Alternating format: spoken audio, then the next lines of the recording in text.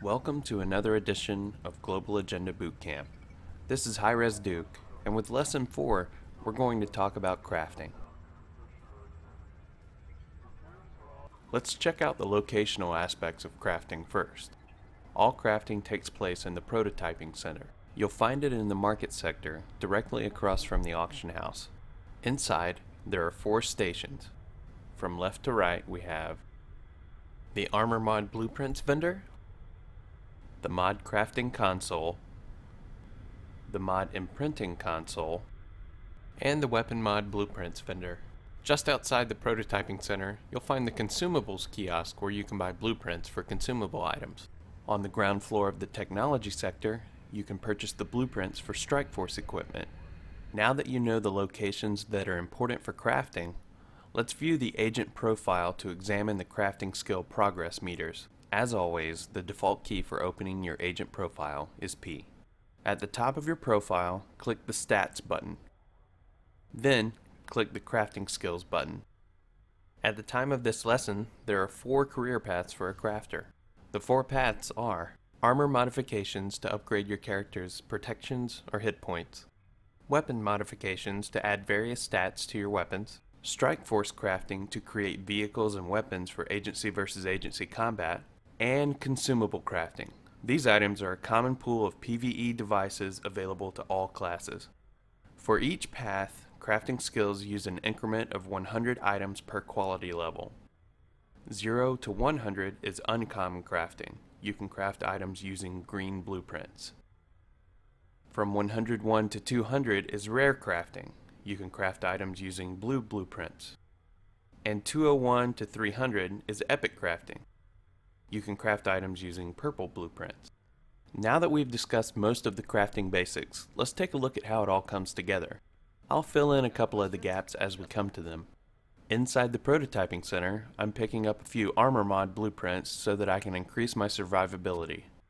As you can see, there are three quality types for blueprints represented with different colors. If you're just getting started with crafting, you should probably pay close attention to the tooltips for blueprints. They provide important information about what the blueprints will do, as well as the crafting level required to use them. In Global Agenda, crafting blueprints do not expire when they're used. It's not a bad idea to collect all the ones you want as you generate the credits to purchase them. For the sake of demonstration, I'm purchasing two blueprints, ballistics for range protection, and padded for additional hit points. Since I have the credits to get it, I also want to purchase a blueprint for repair kits. When you craft from this blueprint, you will receive 7 repair kits to bring any uncommon item back to full durability. Since blueprints don't expire on use, there's no reason to have more than one in your inventory. It's not a bad idea to utilize the drop-down filters in your personal inventory list to eliminate the chance of making an unnecessary purchase. I don't own this blueprint yet, so I'll pick it up for future use. And now we should be able to craft.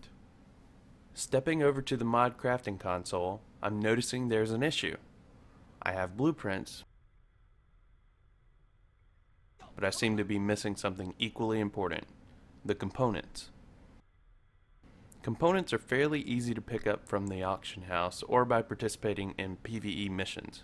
Don't worry, I'm not going to put all of that in this video. Using PvE, it looks like I've found just enough components to craft a mod. After weighing my options, I've decided to craft a padded mod. This will allow me to add a few more hit points to my character. The chat box confirms my action, and now it's time to apply the mod to my character. At the mod imprinting console, I want to use the mod I just crafted. Since it was an armor mod, I need to set the appropriate filter first. I'm selecting an uncommon armor on the left side of the screen that doesn't have an additional mod outside of its inherent mod. Now I'm selecting the newly crafted mod on the right side of the screen and I hit the combine button. I didn't make a mistake, so I'll click yes in the confirmation box. Now that the mod has been applied to my armor, I need to equip it. To equip, I go to my profile and click the armor button. Now I select the appropriate slot, which in this case is head armor. On the right side of the screen, I select the new piece that I would like to equip.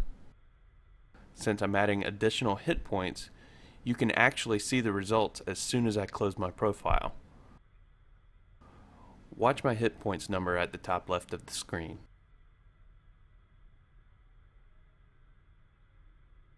Everything you've seen so far is applicable to all the crafting career paths. There's one more thing you need to understand so that you can be an expert crafter. To craft consumables, you will need special components that are not acquired by defeating enemies in PvE. These special components are salvaged from armor or weapon items that you may not want or need. Salvaging is very simple.